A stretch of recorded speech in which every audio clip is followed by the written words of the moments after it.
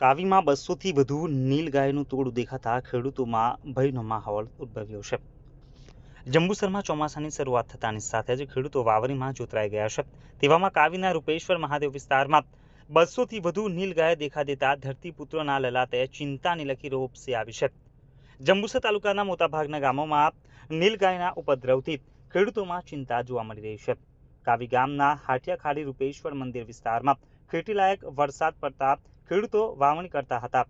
ત્યારે બસોથી વધુ નીલગાયનું ટોળું અચાનક આવી ચડતા ખેડૂતો ચિંતામાં ગરકાવ થઈ ગયા હતા. વાવણી કરેલા ખેતરમાં આંટાફેરા મારે તો વાવણી કરેલા મોંઘા ભાવના બિયારણને નુકસાન થવાની ભીતિ ખેડૂતો સેવી રહ્યા છે. તાલુકામાં હજારોની સંખ્યામાં નીલગાય તેમજ ભૂંડની હયાતી હોવાથી ખેડૂતોને તેમના પાકની ચિંતા સતાવતી હોય છે. સ્થાનિક ખેડૂતે જણાવ્યું હતું કે, સરકાર દ્વારા ગૌચરની જમીન કંપનીઓને આપી દેવાથી તેમજ અમુક લોકોએ દબાણ કરેલ હોવાથી પશુને ઘાસચાળાની મોટી તકલીફ પડે છે. તેથી અવારનવાર ખેડૂતોના ખેતરમાં ઊભા થયેલા પાકને પણ ભારે નુકસાન કરે છે.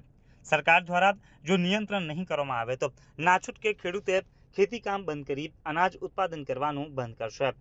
કલકથી નાળા વિસ્તાર તરફ રોજનું તોરું ઝૂંડમાં ફરે છે અને રોજ ક્રોસ કરતી વખતે ઝડપથી દોડે છે. તેથી અકસ્માત પણ સર્જાય છે.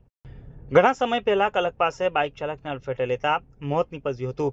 રાજ્યની સંવેદનશીલ સરકાર ખેડૂતોને બહાર આવે અને આ સમસ્યાનું નિરાકરણ લાવે તેવી માંગ ઉઠી રહી છે.